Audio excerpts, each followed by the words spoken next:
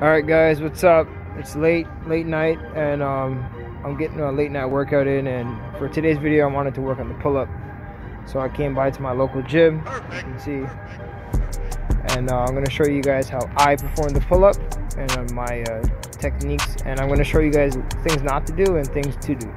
So be on the lookout for it, it's going to be a great video, and I hope you guys train hard. Alright, see you guys inside, to be showing you guys pull-ups, alright first going to show you some real beginner mistakes. So first thing is like crossing your legs. I know a lot of people think that's the way to do it, but it's really not beneficial. And then you see a lot of swaying with the legs and the upper back. Those are things you just don't want to do. Big no-nos. Do not do those. I'm going to show you the right way to do pull-ups. And first thing I secure, grab the bar securely, straight legs, and I'm pulling with my upper back. I slowed it for I slowed it down for you guys so you can see I'm pulling with a slight arch in my upper back. That's me trying to engage my scapula. Very important muscle in the pull up to be able to execute it properly. Right? So you notice it's consistent. That slight arch in the upper back aids with the pull ups. And you're able to see the reps are get performed much better.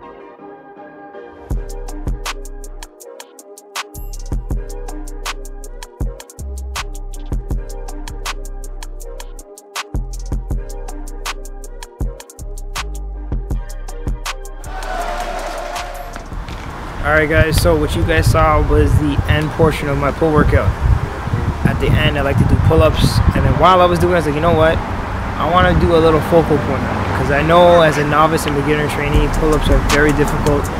Um, so I'm speaking from my own personal experience. I couldn't do a pull-up when I first started getting into strength training and exercise, and now I can do a, a sufficient amount. So I'm going to bring to you guys some of the stretching I do, some of the exercise um, resistance exercises I, I, I use to before my pull-up and before I begin my pull workout.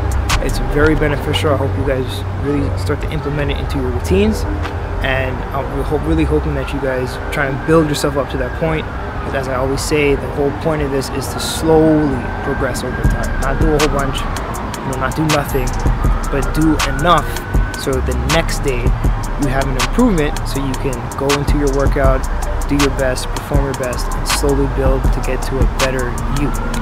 So be on the lookout for that. I'm going to be including it in this video, so take a look at it. Alright guys, as I promised, I'm going to have those exercises for you. The beginning part of this video, I said I would have some tips, strengthening and resistance and stretching that you can do to help with your pull-up. So I'm going to waste no time, we're jumping right into it. The first one, you're going to be using the wall. Second one, you'll use a broomstick third you'll use a resistance band. So like I said, this channel, my content is for people trying to be more active, take the initiative, and be consistent with their exercise, right? So my content is, is here out for you guys so you can do it anywhere. So whether you're at home, you're at the gym, you're at the park, you're at the office, and you have some time, you can squeeze this stuff in and it'll help, really help your training. So like I said, right into it, here's your wall, right? Put your hand at shoulder height, not too high, not too low, right at shoulder height, okay? Perfect. I'm gonna take a few steps back.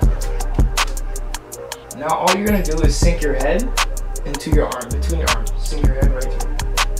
Now you stop there. When your ears are by your biceps, your biceps are here, right, biceps are here. When your ears are by your biceps, you're gonna take a big breath in, hold, and then drop your head further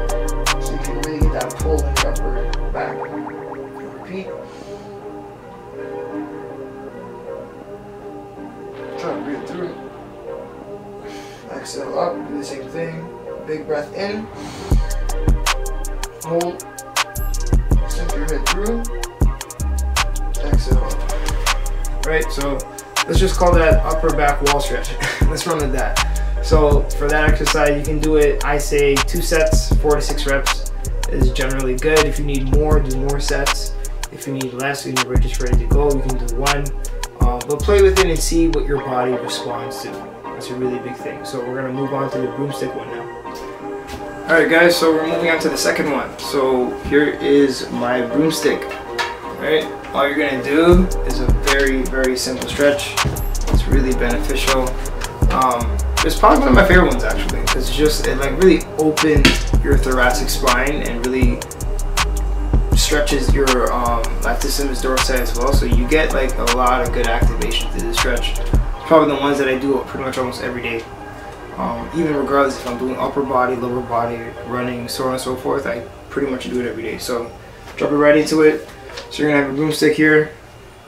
You're going to lean on something. Okay, so when you're doing these exercises, right, you wanna make sure that you have something sturdy in your hand, like I said, like a broomstick. You're on a sturdy object. And all you're going to do now is put your elbows shoulder width apart. So whatever your width of your shoulders, that's where you put it, not too far out, not too far in, width of your shoulders. And you're gonna take a few steps back, make sure your back is flat, and then you're going to sink your head through your arms. Similar to that the other one. But this one's really good It'll stretch your, your lat your lat muscle and your back and your upper back muscles as well. So come up again. So I'm gonna sink your head through. Big breath in. Try and drop your head further. Just hold it. And then come up.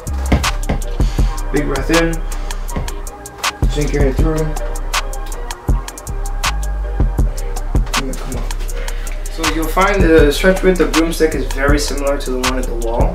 But this one is uh, activates some more muscles in there, so it really helps with the upper upper portion when you pull yourself over and having that range of motion to maintain it on your way down as well.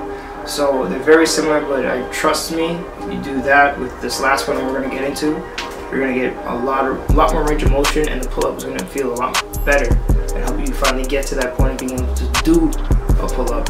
So now we're going to go to the third one, and that's the resistance band.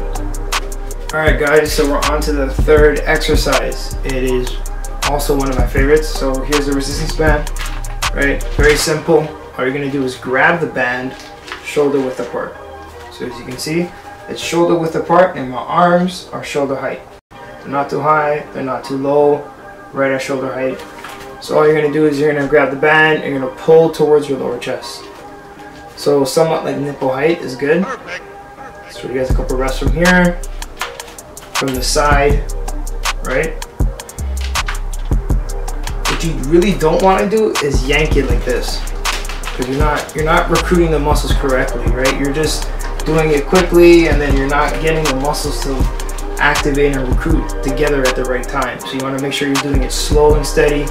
Um, like I say, do like I said in the early part of the video, two sets is good. 8 to 12 reps is ideal. If you need to do more, do more. If you need to do less because your body's ready to go that day, less is fine as well. Play with it and let me know. Let me know what works for you. Um, like those are the exercises I promise. I promise. I promise that those exercises will give you great results. Please implement it as soon as possible. If you're training today, do it today. All right.